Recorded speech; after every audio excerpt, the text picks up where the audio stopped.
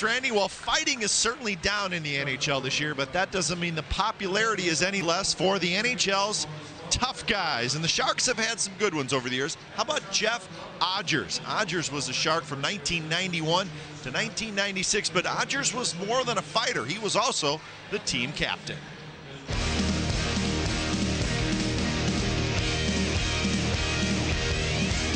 Oh, Odgie's one of my all-time favorites. I'm sure everybody said that. He was a hockey player's hockey player. Pound for pound, one of the toughest guys, definitely. Never back down from anybody. Jeff would stick his face in any place. But they didn't have a big heavyweight like Link, who Gaetz, who was six foot three. I don't know what Jeff was 5'10", 5'11". He's the guy that when you looked at him, probably no one would have thought he would have made it in the NHL. But that was just um, heart and soul for Jeff to make it into the NHL. Uh, wanted to establish himself early in his career, and he fought every every guy he could, and uh, all oncomers, and uh, definitely well-respected player. And then on top of that, he was the captain of the San Jose Sharks, and that is a huge feather in his cap. And he became the captain because he was he was the one guy at that time who was actually still proud to be a Shark. It shows you his leadership qualities. He's more than just a guy that's going to go over the boards and uh, get in a fight for his teammates or uh, make somebody accountable for his teammates. Uh, he can lead the way, he can make a difference in a game, and he's going to play every shift. He was he was the guy in the,